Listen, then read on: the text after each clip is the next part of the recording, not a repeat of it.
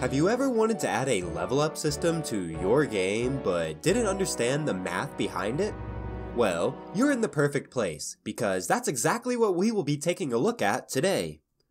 Hello and welcome back to Coding with Unity. Today, we will be looking at the math required to make a level up system. And one of my favorite childhood games is RuneScape, so we will be using the formula provided on their wiki to examine what will be required for a scaling XP system. If we take a look at their wiki, we can see that their experience calculation gives us a 10% growth factor per level, and this first provided formula gives us the experience difference between each level, where X is the level starting from 2. So if we wanted the level 2 required XP, we would input 2 into the formula, which is 1 after subtracting 1 from it, which you can see it does in both of the places where it requires the level. Then, we can perform this formula step by step to see if we can get the experience difference, which is the same as the required XP for level 2. So if we go ahead and open up Notepad, we could work through this formula and make sure we actually understand it before proceeding. So let's start off by setting our x to a value. For our formula, we're going to start with 2, so we'll say x equals 2. And since, as we said before, x is always subtracting 1 from it, we're going to be using 1 instead of typing out the x minus 1 to save a step. So, if we look at this formula, you can see that this first line above the division line has these L brackets on it. These L brackets pretty much work like parentheses, except for it means round down the value between these parentheses. So let's start typing out our formula. We'll call the part above the division line the first pass, and the part below the division line the second pass. So let's say first pass is equal to, since as I said before, the L brackets mean to round down, Let's type out round down and put the rest of it inside of parentheses so we understand better what it is we're doing. And x minus 1, so 2 minus 1 is 1, so we'll just go ahead and put 1. Then we'll say plus 300. Then we need to times it by 2. Then after timesing by 2, we need an exponent value, which is our level minus 1 divided by 7. And the easiest way to type this, we're just going to do it the same way you would do it in code, which is a math.pow. And with math.pow, the first value is the value that's going to be powered, and the second value is the value you want to power it by. And our formula says that we want to power it by 1 divided by 7, since we already did 2 minus 1 equals 1. So this is the first pass of our formula, and then the second pass of our formula is just first pass divided by 4. And we also want to round down the second pass.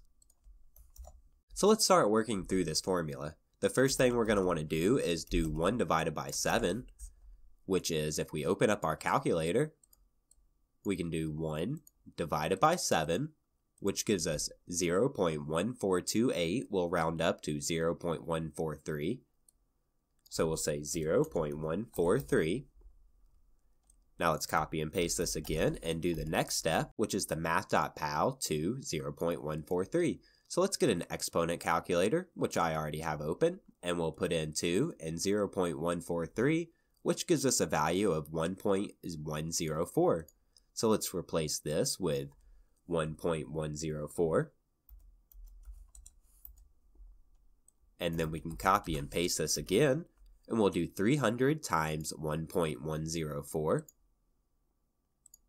300 times 1.104 gives us a value of 331.2. So 331.2. Copy and paste this again, and our next step is to add the 1, so it's 332.2. Now we need to round this down, which gives us 332. Then we need to do 332 divided by 4 and round that value down. So we'll say 332 divided by 4 with the round down still on it in case it doesn't give us an integer. Then the final step is 332 divided by 4. Let's do that. We'll take 332 divided by 4 gives us 83. So we'll put right here 83. Our second pass is 83. And if we go back to our level chart, we'll see that level 2's required XP and the XP difference is 83.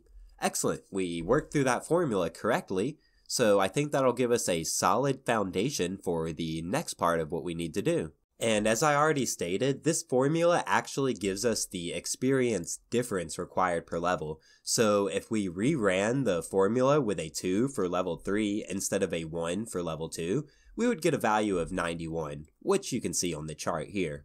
But if we wanted the total required XP for level 3, which is 174, we can take a look at this formula, which is the formula needed to calculate the amount of experience needed to reach a certain level, where the level is L. As you can see here, L minus 1 and X equals 1. The main difference in this one and the previous formula is this strange E symbol, which is the 18th letter in the Greek alphabet, sigma. But in mathematics, it's used for the summation notation, or simply the sum of the values.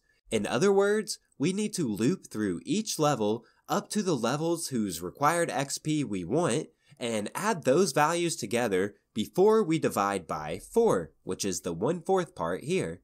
And that will give us the required XP of that level, which is the 83, 174, 276. So if we go back into our notepad, we can take a look at what this more means by actually doing the math. We know the first pass value from level 2 was 332, so when doing the formula for level 3, we need to add the first pass value from the level 3 formula to the first pass value from the level 2 formula before we divide by 4, which will give us the total required XP for that level.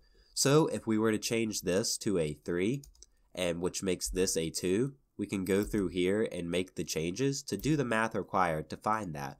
So let's quickly do that we have 2 divided by 7 now, which gives us 0.285714.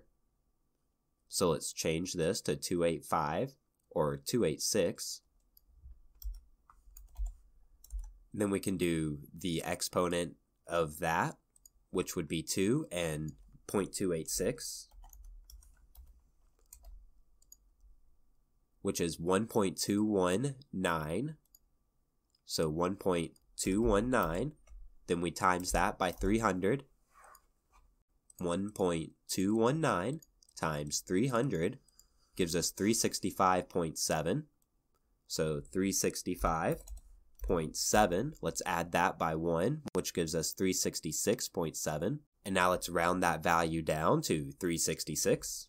And then let's divide 366 by 4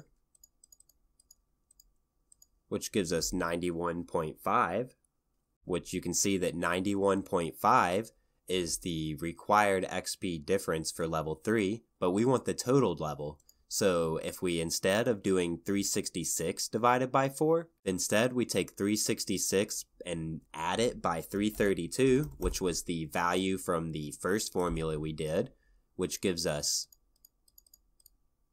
698